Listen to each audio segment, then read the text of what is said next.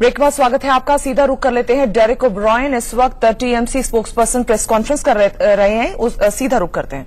Leader of Rajya Sabha all India Trinamool Congress mister Manish Gupta and before he became my senior colleague in Rajya Sabha he was the chief secretary of Bengal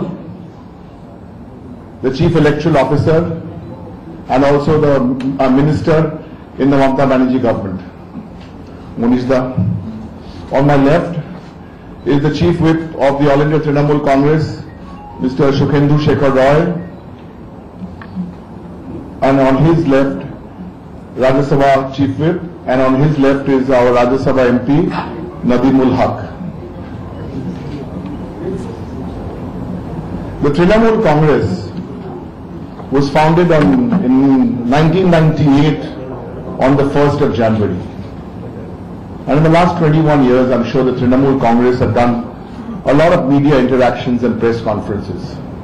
I've had the privilege of doing these conferences and interacting for the last 16 years.